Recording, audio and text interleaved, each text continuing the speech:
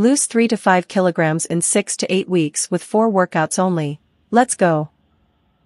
Exercise 1. Standing up, crunches. Practice. 3 sets of 20 repetitions. 10 repetitions on each leg.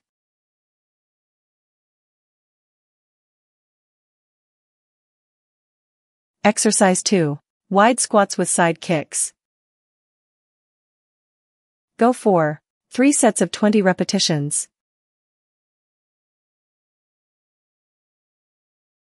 If you are a beginner you can practice very slowly. Once done with the practice increase your pace with more repetitions. Exercise 3. Lunge to high knee.